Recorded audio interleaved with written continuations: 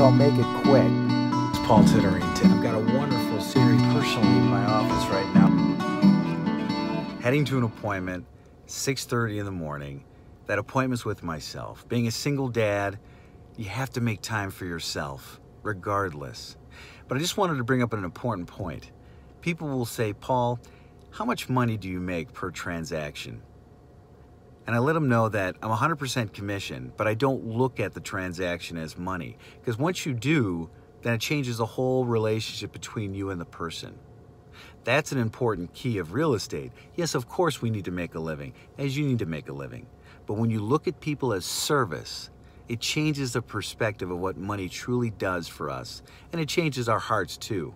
That's just the way I try to operate, and I try to teach my daughter that as well. Have a blessed day.